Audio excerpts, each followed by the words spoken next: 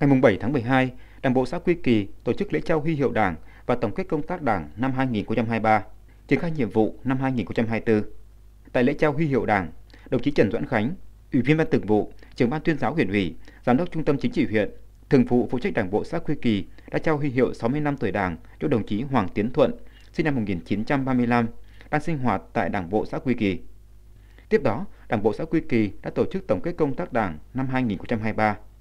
Theo đó, với sự chỉ đạo của cấp ủy Đảng, chính quyền, cùng sự vào cuộc của Mặt trận Tổ quốc, các đoàn thể chính trị xã hội, sự nỗ lực của cán bộ và nhân dân trong việc thực hiện nhiệm vụ chính trị và đạt được những kết quả chỉ tiêu đề ra. Năm 2023, tổng sản lượng lương thực có hạt của xã Quy Kỳ đạt gần 2.000 tấn, đạt 100,6% nghị quyết. Tổng đàn gia súc gia cầm 2.000 con, đạt 78,9% so với nghị quyết. Thu nhập bình quân đầu người đạt 43 triệu đồng, đạt 100% chỉ tiêu nghị quyết. Tỷ lệ hộ nghèo giảm còn 13%, vượt 1,33% chỉ tiêu nghị quyết. Xóa nhà rột nát cho hộ nghèo đặc biệt khó khăn là 45 nhà, bằng 118,42% chỉ tiêu nghị quyết. Kết nạp 8 đảng viên mới. Cùng với đó, công tác văn hóa xã hội được quan tâm, hoạt động giáo dục tiếp tục được nâng lên, quốc phòng an ninh được giữ vững, trật tự an toàn xã hội được đảm bảo.